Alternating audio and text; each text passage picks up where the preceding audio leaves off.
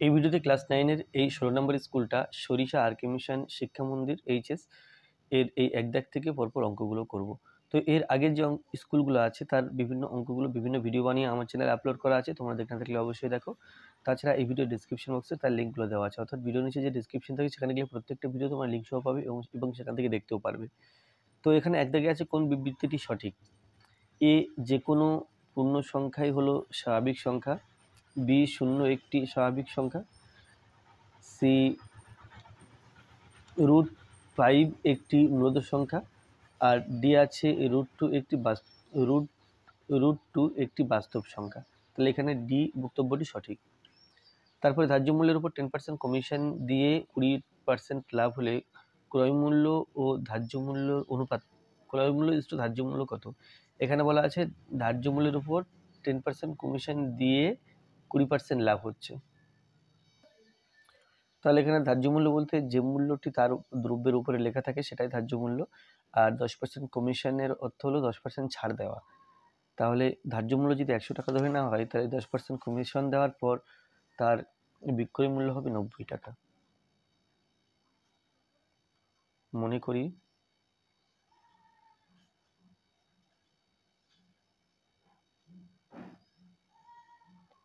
ধার্য মূল্য একশো টাকা। অতএব টেন পার্সেন্ট কমিশন দেওয়ার পর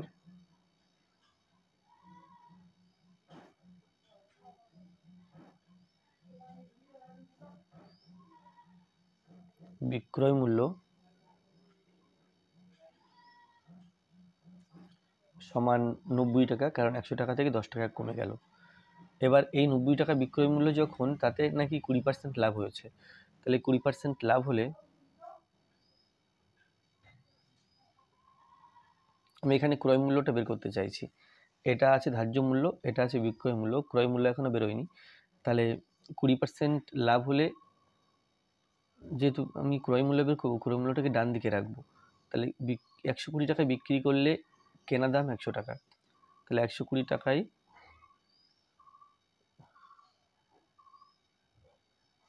বিক্রয় মূল্য হলে?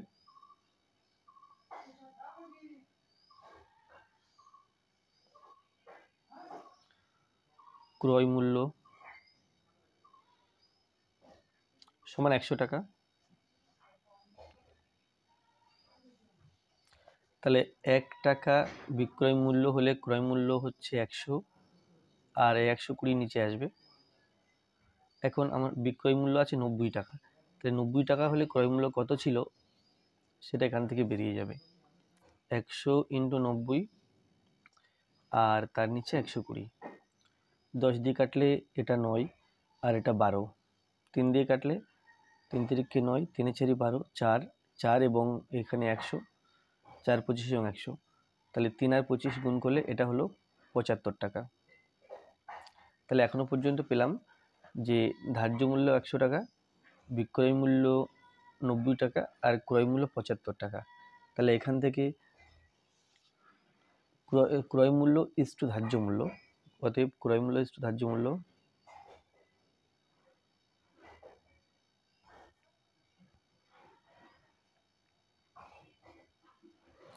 ক্রয় মূল্য আছে পঁচাত্তর টাকা আর ধার্য মূল্য আছে একশো টাকা।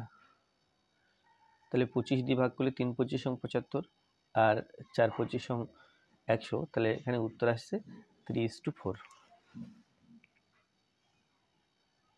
এটা সি তারপর আছে N to the power X to the power N plus one বহুপদী সংখ্যামালা। এক্স প্লাস ওয়ান একটি উৎপাদক হবে যখন, তো এখানে এনের বিভিন্ন কন্ডিশনগুলো দেওয়া আছে। এক এন একটি অযুগ্ম ধনাত্মক সংখ্যা, পূর্ণ সংখ্যা। এন একটি যুগ্ম ধনাত্মক পূর্ণ সংখ্যা এন একটি ধনা ঋণাত্মক পূর্ণ সংখ্যা এন একটি ধনাত্মক পূর্ণ সংখ্যা।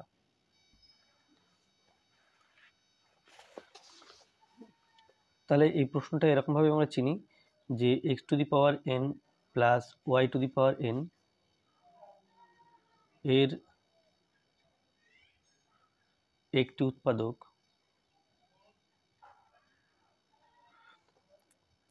এক্স প্লাস ওয়াই হবে। যদি একটি উৎপাদক এক্স প্লাস ওয়াই হবে, যদি এন একটি অযুগ্ম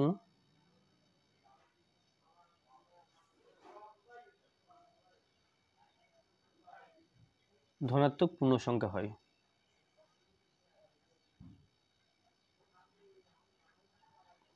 তাহলে এখানে আছে X to the power X to the power N plus one এটাকে লেখা যায় X to the power N plus one to the power N তাহলে এক্ষেত্রেও তাই, তাহলে এর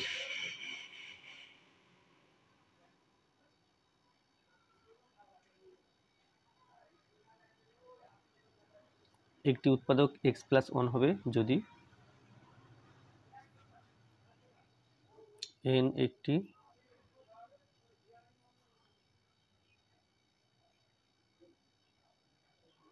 অযুগ্ম।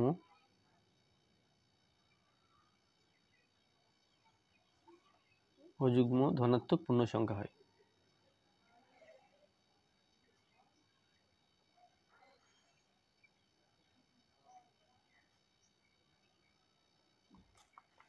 তাহলে এখানে এখানে দেখছি এই এ উত্তর, এখানে এ আছে একটি অযুগ্ম ধনাত্মক পূর্ণ সংখ্যা এবার তিন দাগে তিন দাগে আচ্ছা তিন দাগ হয়ে গেল, চার দাগে আছে প্লাস প্লাস সি সমান শূন্য, তাহলে এর মান কত হবে?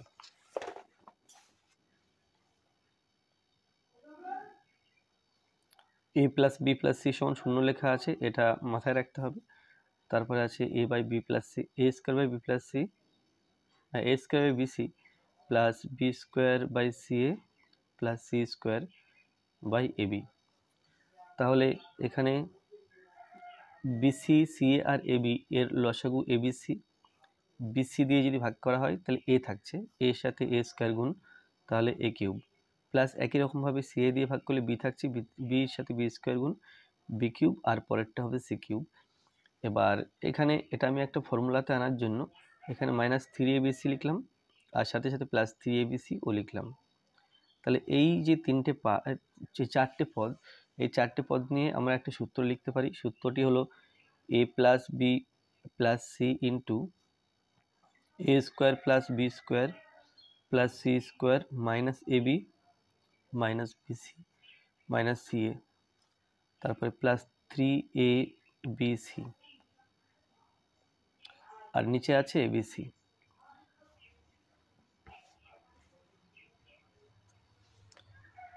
সমান এখানে a plus b plus c এর মান শূন্য এখানে দেওয়া আছে প্রথমেই। তাহলে শূন্য বসালাম। শূন্য into a square plus b square plus c square minus a b minus b c minus c a plus three a b c by a b c তাহলে শূন্যর সাথে এটা গুণ করে শূন্য হয়ে গেল।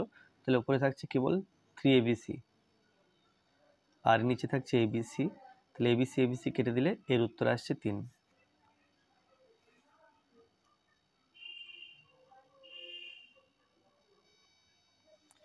এখানে আছে এ এক্স প্লাস বি সমান এবি সমীকরণ সমীকরণ লেখচিত্রটি অক্ষদয়ের সঙ্গে যে ত্রিভুজ উৎপন্ন করে তার ক্ষেত্রফল হবে।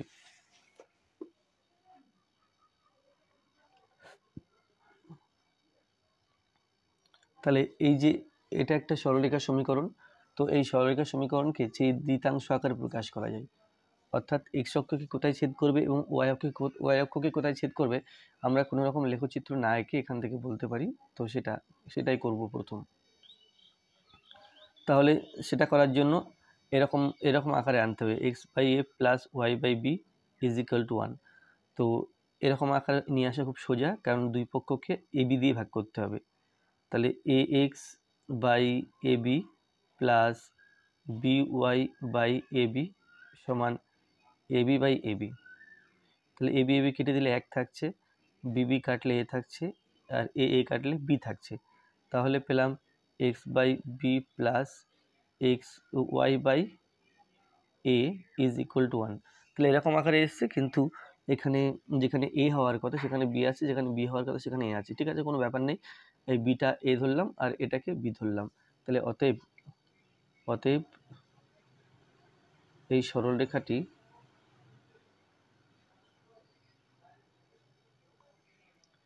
এক্স অক্ষকে বি একক ও ওয়াই অক্ষকে এ একক দূরে ছেদ করে।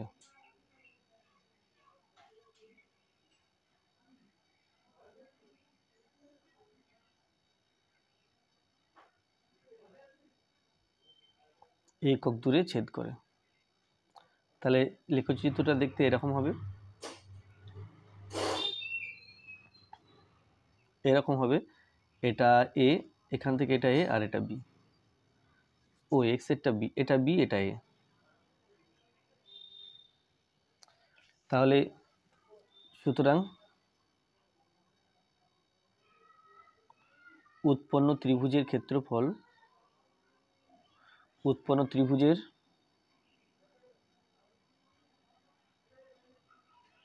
ভূমি। এখানে ভূমি এই এক্সের মানটা, অতএব বি বি একক ও উচ্চতা এ একক।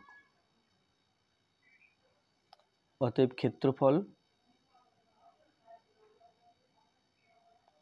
সমান একের দুই ইন্টু ভূমি ইন্টু উচ্চতা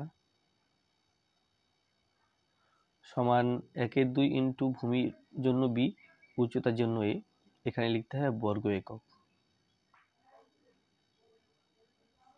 তাহলে সমান হলো এবি বাই টু বা এখানে একের দুই এবি লেখা যায়।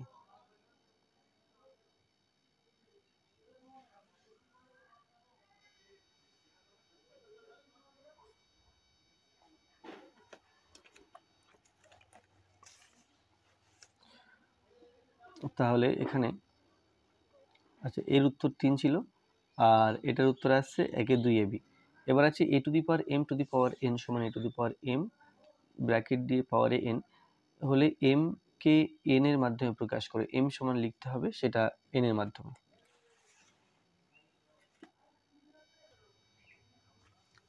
তাহলে এটা এলো, এখন এভাবে লেখা যায় যে এম সমান a to the power a m R N গুণ করতে হবে এম এন তাহলে যেহেতু দুটো, দুই জায়গায় পাওয়ারে এ আছে, তাহলে এখান থেকে লেখা যায় m to the power n সমান এম এন এমটাকে উভয় পক্ষকে এম দিয়ে ভাগ করি।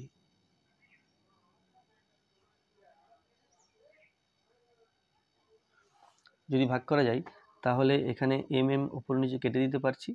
আর এই জায়গাটা যেটা হচ্ছে এখানে এম এর পরে এক, তাহলে m to the power n minus one এটা সমান এন তাহলে এখান থেকে বলা যায় এম সমান n to the power one by এটা এখানে আসলে এন মাইনাস ওয়ান হয়ে যায়। তাহলে এটা এম সমান n to the power a by n minus one তাহলে এটা এটা উত্তর। এবার আছে লগ একের দুই টু দ্য বেস এক্স সমান মাইনাস একের দুই হলে এক্সের মান কত?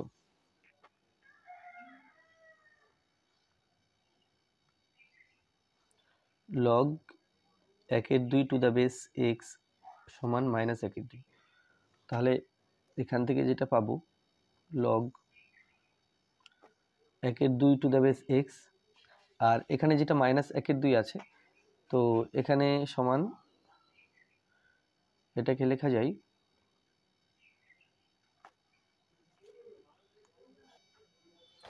এটা কিছু লেখা যাচ্ছে না। তো যদি বজ্রগুণ করা হয়, তাহলে দুইটা এই, এটার সাথে গুণ হবে আর মাইনাস এক ডান দিকে থাকবে। তাহলে টু টু লগ একের দুই টু দ্য বেস এক্স এটা is equal to minus one তাহলে এখান থেকে যেহেতু দুই লগের আগে আছে, এটা এই একের দুইয়ের পাওয়ারে চলে যাবে। তাহলে লগ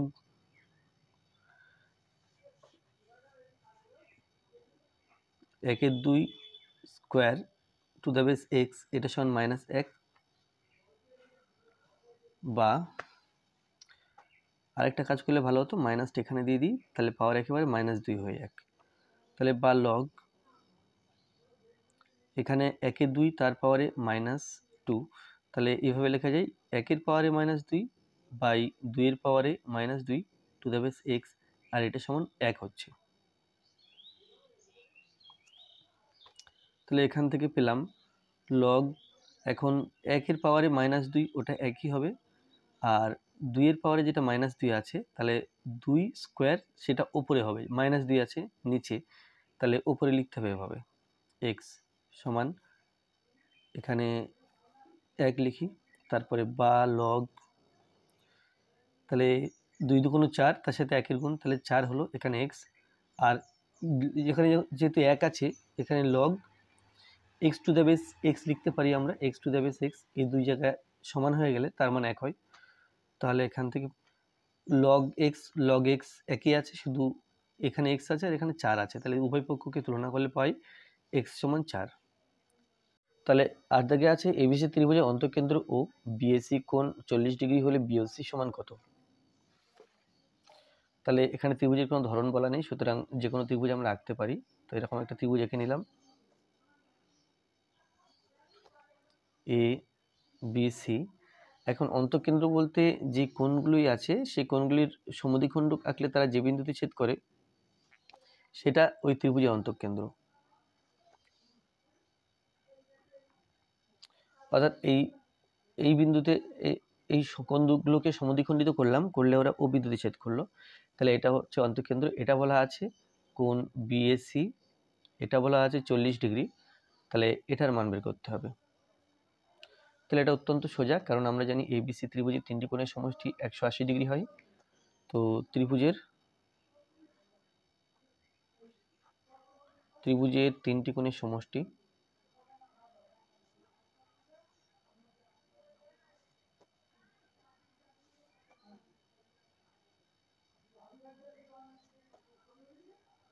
একশো আশি ডিগ্রি। তাহলে অতএব এই যে কোণ এ বি সি আর কোণ এ সি বি এই দুটো কোণ যোগ করলে মোট একশো আশি ডিগ্রি থেকে চল্লিশ ডিগ্রি বিয়োগ করলে যত পাবো তার সমান। তাহলে অতএব কোণ এ বি সি প্লাস কোণ এ সি বি আচ্ছা এইভাবে লিখি। এটা প্লাস এটা প্লাস এটা এটা মানে চল্লিশ ডিগ্রি। এটা পেলাম একশো আশি ডিগ্রি, তিনটি কোণ যোগ করে। তাহলে বা কোণ এবিসি প্লাস কোণ এসিবি সমান একশো আশি ডিগ্রি মাইনাস চল্লিশ ডিগ্রি। তাহলে এটার মান হলো একশো চল্লিশ ডিগ্রি। তাহলে এই কোণ এই কোণ দুটো যোগ করে একশো চল্লিশ ডিগ্রি পেলাম। এবার আমরা এই কোণ, এই হাফ কোণ দুটো যোগ করতে চাইছি। এর নাম ও বিসি অতএব কোণ ও বিসি প্লাস কোণ ও সিবি ওসিবি তাহলে ওবিসিটা এই যে ওবিসি কোনটা এবিসির হাফ তাহলে এটা লেখা যায় সমান হাফ কোন এবিসি প্লাস ওসিবি কোনটা ও সিবি কোনটা এই পুরো কোনটার হাফ, অর্থাৎ এসিবি এর হাফ, তাহলে হাফ কোন এসিবি সমান, তাহলে হাফ কমন নিলে কোন এবিসি প্লাস কোন এসিবি তাহলে এবিসি আর এসিবি এর যোগফল একশো চল্লিশ ডিগ্রি। তাহলে এটা অ্যাকচুয়ালি একশো চল্লিশ ডিগ্রি বাই টু কাটাকুটি করলে সত্তর, তাহলে সমান সত্তর ডিগ্রি পেলাম। তাহলে এই এই দুটো কোণ যোগ করে সত্তর ডিগ্রি পেলাম, তাহলে ওবিসি ত্রিভুজের তিনটি কোণ মিলে একশো আশি ডিগ্রি হওয়ার কথা, তার মধ্যে এই দুটো কোণ মিলে সত্তর ডিগ্রি, তাহলে এই কোণটা আমরা একশো আশি ডিগ্রি থেকে সত্তর ডিগ্রি বিয়োগ করে পেয়ে যাব। তাহলে অতএব ত্রিভুজ ওবিসি এর কোণ বিওসি সমান একশো আশি ডিগ্রি মাইনাস সত্তর ডিগ্রি সমান হলো একশো দশ ডিগ্রি।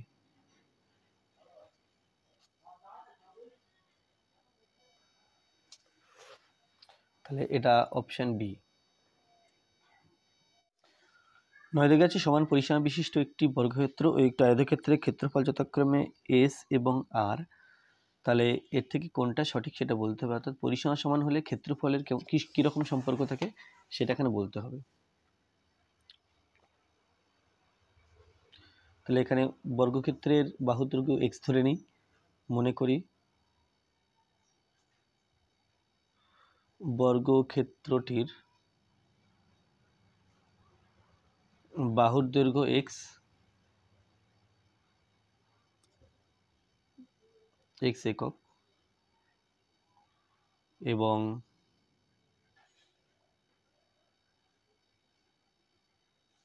আয়তক্ষেত্রের দৈর্ঘ্য এ একক ও প্রস্থ সমান বি একক অতএব বর্গক্ষেত্রের পরিসীমা সমান আয়তক্ষেত্রের পরিসীমা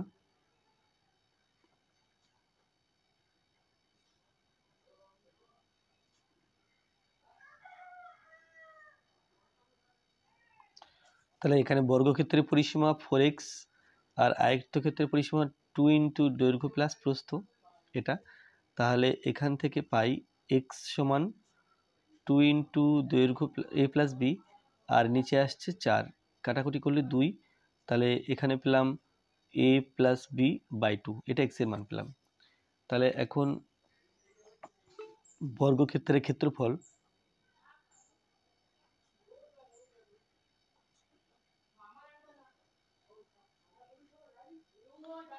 সমান বাহু স্কোয়ার অর্থাৎ এক্স স্কোয়ার বর্গ একক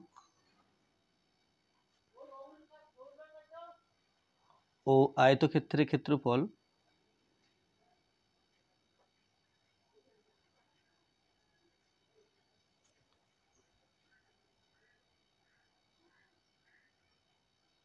সমান দৈর্ঘ্য ইন্টু প্রস্থ অর্থাৎ এবি এবি বর্গ একক।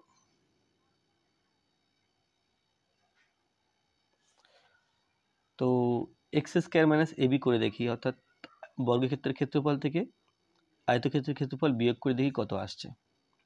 তাহলে এটা সমান এক্সের মান a plus b by two a plus v by two তার whole square minus a b তাহলে এটা দুই যেহেতু নিচে আছে, এটা বর্গ একের চার হবে, আর a plus b whole square এটা হবে ঠিক আছে, আমি এভাবে লিখি a plus b whole square by four minus a b সমান, তাহলে চার লসাগু চার লসাগু করলে a plus b whole square minus এর নিচে যে এক আছে, এক দিয়ে চারকে ভাগ করলে চার হয়, চারের সাথে এবির গুণ, তাহলে পেলাম ফোর এবি তো এটা সমান, আমি এক, চারটাকে এইভাবে লিখলাম, আর a plus b whole square minus four a b আমরা এ মাইনাস বি হোল স্কোয়ারের সূত্র জানি যে a minus b whole square সূত্র a plus b whole square minus four a b তাহলে এটাকে লেখা যায় a minus b whole square তাহলে এখানে একের চার একটা, এই যে একের চার, এটা একটা ধনাত্মক সংখ্যা। আর এ আর বি এর মান যাই হোক না কেন, যদি এর ভেতরটা বিয়োগ করে মাইনাসও আসে স্কোয়ার করলে সেটা প্লাস হয়ে যাবে। আবার যদি বিয়োগ করে প্লাস আসে, সেটা স্কোয়ার করলে সেটা তো প্লাস হচ্ছেই। তো এই যে রাশিটার মান, এই রাশিটার মান সবসময় ধনাত্মক। এই রাশিটা কখনো ঋণাত্মক হতে পারে না, কারণ কি একের চার কখনো ঋণাত্মক নয় প্রথম কথা। সেকেন্ড কথা হচ্ছে এই যে এ আর বি এর মান যাই হোক না কেন বর্গ করলে সেটা সবসময় ধনাত্মক হবে, তাহলে এটা is greater than zero greater than zero তাহলে আমি পেলাম যে এই যে এটা। অতএব x square minus a b এটা গ্রেটার দেন শূন্য পেলাম। তাহলে এক্স স্কোয়ার ছিল এটা ছিল বর্গক্ষেত্রের ক্ষেত্রফল, যেটা এস দিয়ে লেখ এস দিয়ে প্রশ্নে আছে। আর এবি ছিল আয়তক্ষেত্রের ক্ষেত্রফল, যেটা কিনা আর দেওয়া ছিল, স্কোয়ার এবং রেক্ট্যাঙ্গেল এটা ইজ গ্রেটার দ্যান জিরো তাহলে এস থেকে আর বিয়োগ করে আর বিয়োগ করে সেটা যদি গ্রেটার দ্যান জিরো হয়, তাহলে এখান থেকে বলা যায় s is greater than r অর্থাৎ এসটা আর এর চেয়ে বড়। তাহলে এখানে এসটা আর এর চেয়ে বড়, এটা, এই বি বি অপশানটা সঠিক উত্তর। তারপরে আছে এ কমা শূন্য শূন্য কমা বি এবং এক কমা এক বিন্দু তিনটি সমরেখ হলে এর মান কত? One by a plus one by b তাহলে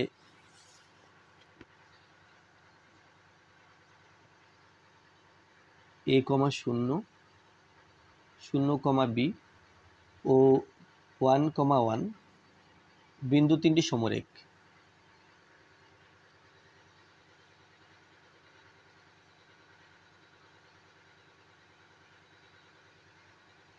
তাহলে অতএব এখান থেকে বলা যায় আচ্ছা এটা এক্স ওয়ান, এটা ওয়াই ওয়ান, এটা এক্স টু, এটা ওয়াই টু, এটা এক্স থ্রি, এটা ওয়াই থ্রি। তাহলে x one into y two minus y three plus x two into y three minus y one plus x three into y one minus y two.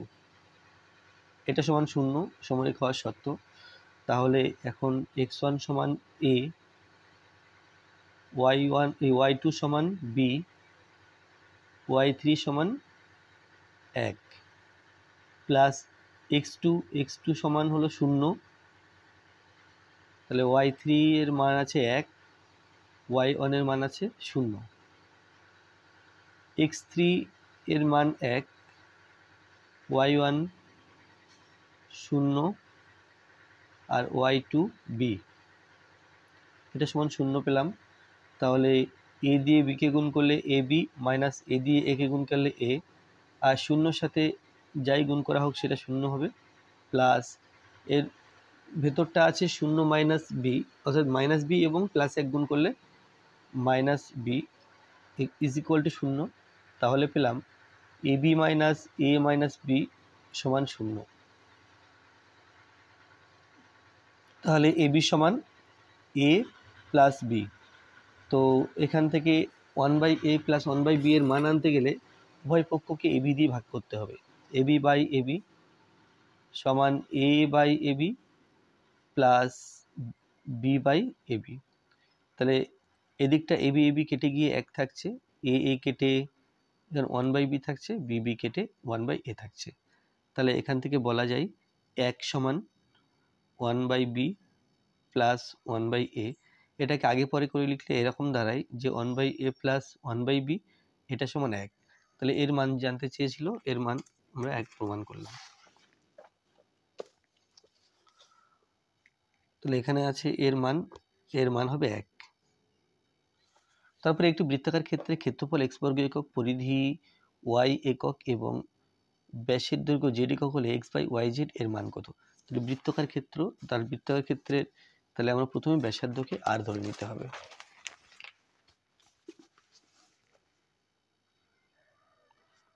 মনে করি ব্যাসার্ধ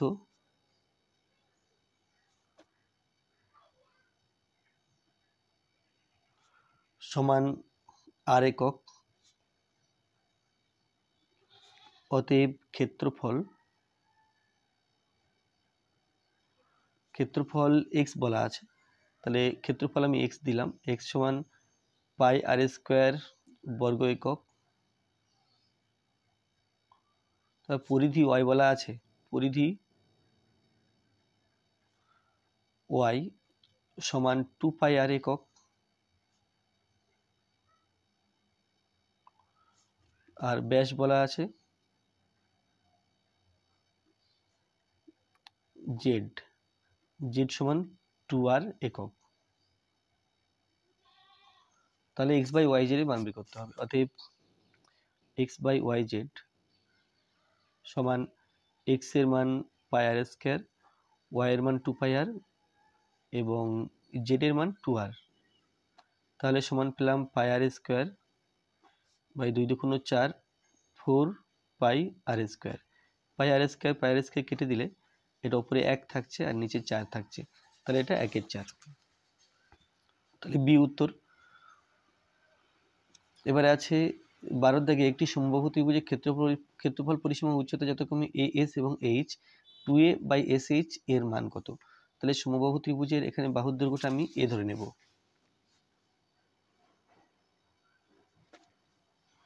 মনে করি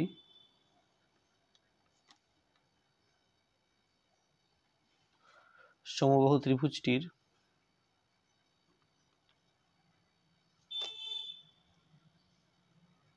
বাহুর দৈর্ঘ্য এ একক।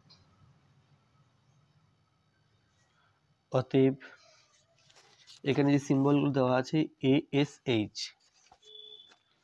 a s h তাহলে এ বলা আছে ক্ষেত্রফল পরেরটা পরিসীমা তারপর একটা এইচটা হচ্ছে উচ্চতা। তাহলে এ ক্ষেত্রফল, সমবাহু ত্রিভুজের ক্ষেত্রফলের সূত্র root three by four into বাহু স্কোয়ার এস বলা আছে এস পরিসীমা, এটা থ্রি এ, তিনটি বাহুর যোগফল, আর উচ্চতা root three by two into বাহু। এটা, তাহলে এখন two a by h two a two a by s h এর মান বের করতে হবে।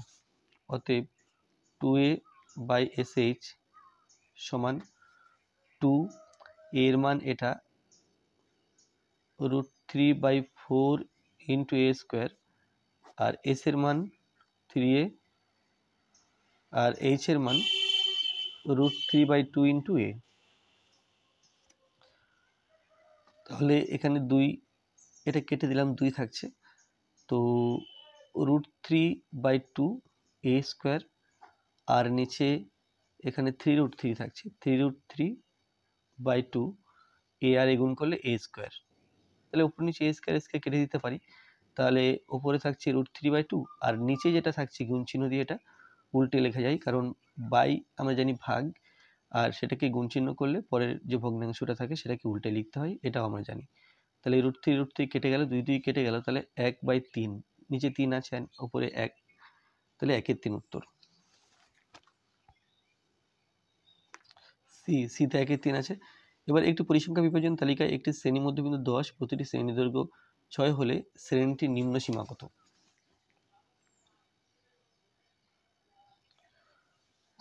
তাহলে শ্রেণীটির নিম্ন সীমা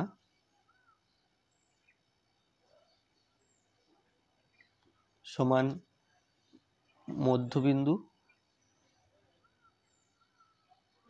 মাইনাস শ্রেণি দৈর্ঘ্য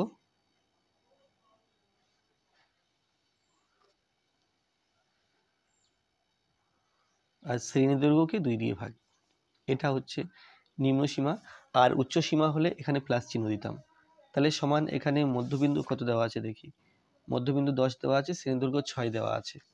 তাহলে দশ মাইনাস ছয় বাই দুই সমান দশ মাইনাস তিন তাহলে এটা হলো সাত। কোন শ্রেণির শ্রেণি পরিসংখ্যা ও মোট পরিসংখ্যার অনুপাতকে কি বলা হয়? এটা আপেক্ষিক পরিসংখ্যা বলা হয়। তাহলে ভিডিওটি এই পর্যন্ত। ভিডিওটি ভালো লাগলে অবশ্যই লাইক করবে। কোনো প্রশ্ন থাকলে কমেন্টে জানাবে। আর আমার চ্যানেলে প্রথম হয়ে থাকলে অবশ্যই চ্যানেলটি সাবস্ক্রাইব করবে। ধন্যবাদ।